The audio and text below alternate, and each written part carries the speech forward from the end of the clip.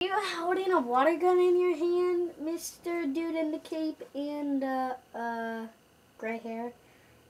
Whatever. Because if there's a fire,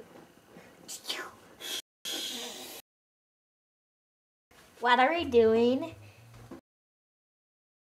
Um, in we're standing here. What's here?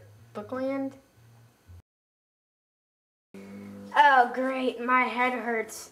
Duh, it's off.